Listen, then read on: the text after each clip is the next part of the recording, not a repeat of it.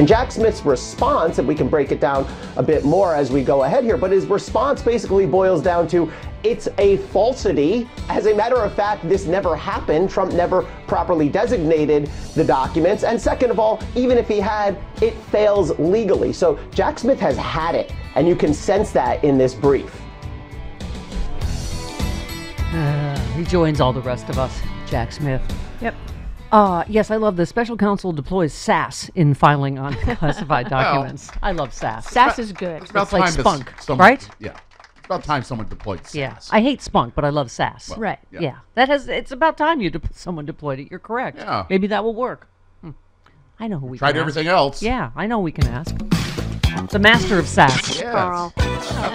Karl Frisch. Let's talk to our fancy Fairfax County School Board friend, shall What? we? KarlFrisch.com. Oh, hiya, Karl Frisch. Hi. Good morning. I've not been called the Sass Master in a while. I just made that up. um, yeah, this new response filed by Jack Smith in the classified documents case was made public. According to legal analysts, the special counsel is deploying creative uh, retorts in his reply to the judge. Uh, they said the. Um, Smith had no choice but to call out the judge for, quote, failing a law school exam in her handling of the classified information case. Smith knocked Judge Aileen Cannon for her directions for jury instructions, pointing out they are based on a fundamentally flawed legal premise. Um, and it, the uh, expert said Smith had to go on the attack. I mean, it's so egregious at this point, Karl.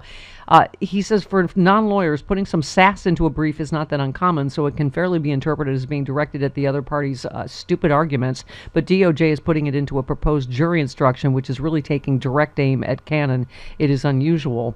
Um, eh, Norm Eisen said it's fu- uh, the, it, it is a fundamentally flawed legal premise, is a polite term for that's nuts, uh, meaning what she's trying to put in jury instruction. By the way, before even setting a date, right? I mean, it, it's, but you know, Karl, I was saying before the break, I still have a hard time, even though we do this every day for a living, getting my mind around the fact that someone he appointed could let him get away with essentially uh, espionage, treason, whatever you want to call it, right?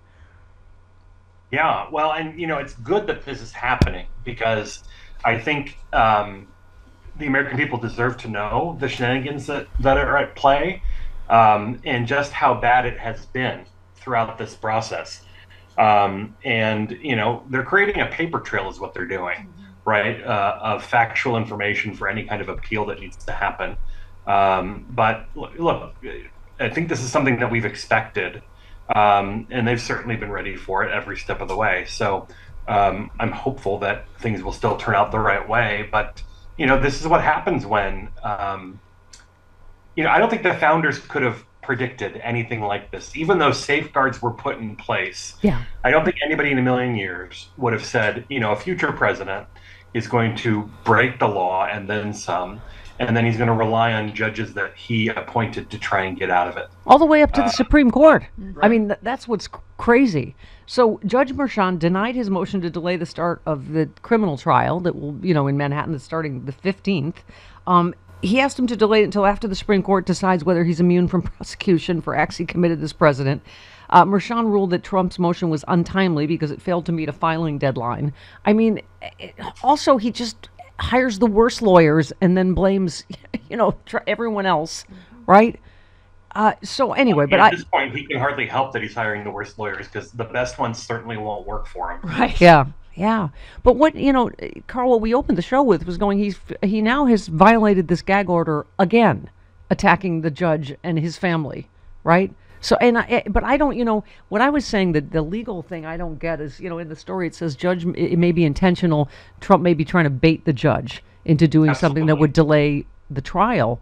And so that would be my question: Does fining or jailing him delay the trial in some way? Would there be a reason the judge would go? I'm just going to let this go because we're starting in a few days.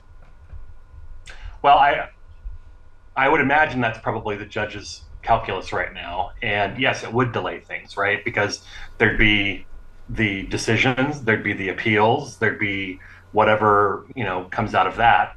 Um, and so you know this is the kind of stuff that we're going to deal with. And I think the other part of their calculus on the Trump folks' side is what political benefit they could get from their base if he is fined or jailed. Yeah. um, for breaking this uh, Yeah. gag order. Well, so and Alvin Bragg slammed Trump's demand the judge overseeing the hush money case recuse himself in a new court filing. He said that uh, he writes the daisy chain of innuendos is a far cry from evidence. There's some n- simply nothing new here. And you know Tristan Snell, interestingly, who successfully prosecuted. Um, uh, what do you call what's the which scam? Trump University. you know, he said this is nothing new. He's he does this every time he attacks the prosecutors and the judges and whatever. It's just I don't know, Karl, because he was president. That now you know, eh, eh, look at how they've gone after D- Fani Willis. I mean, he's going to do this in every case, right? Absolutely. Um, and you know, I I'm not a lawyer. I don't play one on TV, so don't? you'll have to talk to Glenn. Well, get out Uh, then. But, but uh, you know, what I wonder is if they can preemptively put in gag orders. I doubt it. Um, there probably has to be something happen uh, in order for that to be the case. But I have zero doubt that he will give every opportunity for them to do it. Yeah. We, t- you know, I keep talking about being so struck by Judge Luttig just saying, you know, like our institutions somehow, I, you know, are just frozen or not. You know, I, I keep saying it feels Hitlery. Like, oh, I see. This is how they couldn't stop Hitler because everyone was scared and nobody would do anything. Not the judicial system, not you know his own party, not the, the, you know anything.